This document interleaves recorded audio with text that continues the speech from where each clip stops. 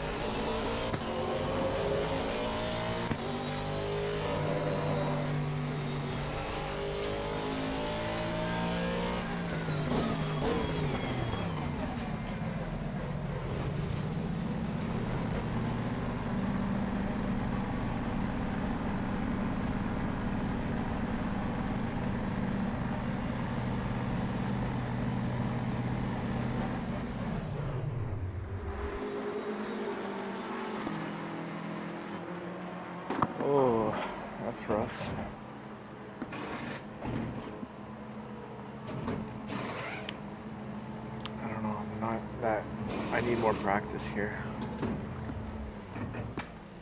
Let's see what happens.